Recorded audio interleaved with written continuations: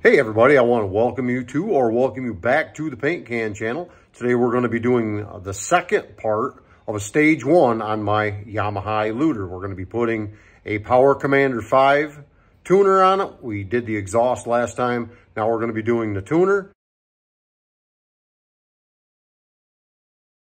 So as you can see, you got a few parts here on the floor.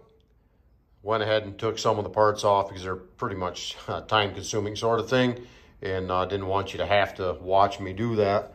Um, you got to pull the seat off, slide that back, and I remember I had that bag on top of it, settlement bag. You need to pull the tank up and then put a block under that. Take the, the side cover off to get to the seat. Got to take the entire intake system off, and being that I had a cup holder hooked to that little door, I had to take the door off to get to the screws to get to the uh, the intake, take that apart. Now on the other side, this whole section around the intake, that whole panel is going to have to come off so we can get to the right plugs there. So we'll get to that momentarily and we'll get going here on this Power Commander 5 install. So sometimes things don't turn out quite according to plan. So I was putting that tuner in the other day. We're about three, four days later now. And um, I don't know, I lost videos of it. So uh, the step-by-step -step on how to do it went all messed up. So what I'm going to do is kind of run you through what I did to get it in. And as you saw in the last clip of the video, um, had the whole bike tore apart on this side. And now as you can see, it's it's back together. So we're going to look at some of the things that had to do to make it happen. Again, the side panel, seat, all that came off. Right about in here, where you get to the throttle body, there's a plug on the back side of that. That plug had to be unplugged then the, the power commander just plugs in line on both sides of that. You route the wiring over.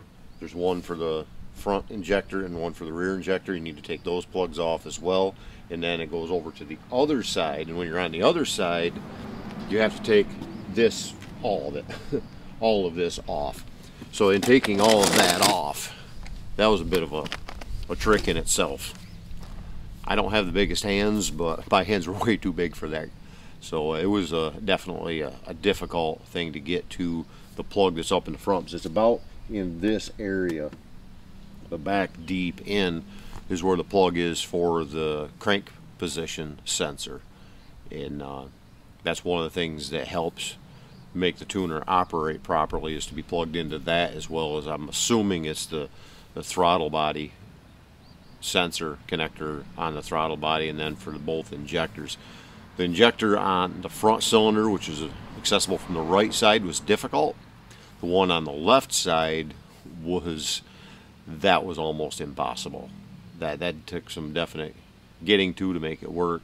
And then again, that the, the crank position sensor, just simply finding that, that was a, a chore because it goes, as the directions, it's just a two wire harness. You look for that. It's got a black plug. There was one right there finally got that apart. It was not the right connection so oops wrong one. Found the one that it was supposed to be after about an hour of searching because it was in with some other harnesses up inside like a rubber boot slid down over it so you couldn't see the connectors. I thought it was just one big harness coming up through when it wasn't. Would have been a little better if we had a little better directions on that but it is what it is. Uh, again it's a, a easy easy install just difficult to get to it's powered right off the bike itself. Had to run a ground wire to the battery and put the box itself back there. And it does need to be programmed, so I have not done that yet. I've got to take that to my local dealer. Is going to be doing some other programming in the bike itself with the GPS. So I told him when I bring that over, you can just plug that in and program that as well he's really good with the setting parameters and that type of stuff it. You can go with just a, the stock tune, which is going to be running a little bit lean, or you can go with a, a pre-programmed tune in there that will go with the exhaust that, that I installed prior. You can do that, or you can do some custom tuning.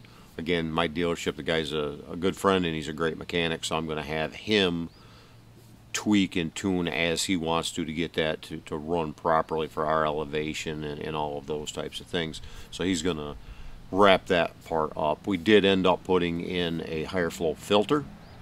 Uh, still got the stock intake because, again, price as well as the, the duct that comes out the front of it, or goes up into the plastic work in here, you got a you got a hole about that big around that it leaves. You get a dumb looking hole. Until somebody makes something better, that's what's going to stay on there because I just think it looks dumb to have a big old hole in the in in, in your fairing. And behind that fairing is some electronics. It's great. You, you wash the bike, you hose down the electronics. That's not a very good setup for that, but again, it is what it is. No big deal there. It's not like I'm looking to, to go racing with it. I just wanted to tune in the extra flow of the, the filter and the exhaust a little bit more to make the, the fuel air ratios work right. That's, that's really all I put the tuner on for. It's a 113 motor.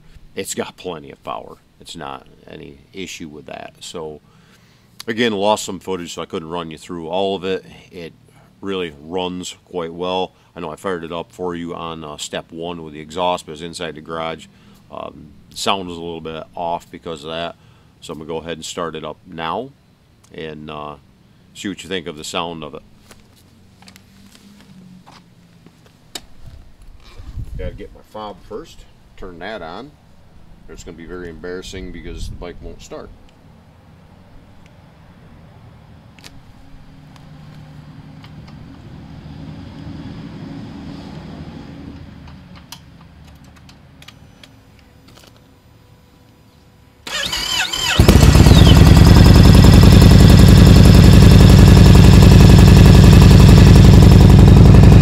So again, it's definitely louder, but I don't believe it's an obnoxious loud.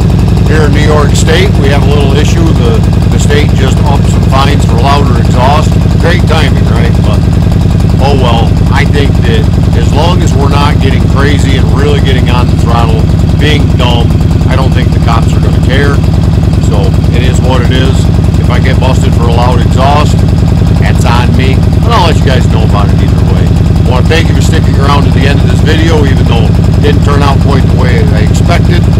And stick around, we got something new to the channel. We got another bike to announce to you. A project bike we're going to be working on. We're going to be starting out with in the next video.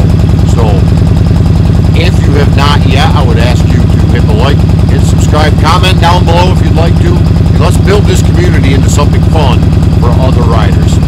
Have a great day and be safe out there.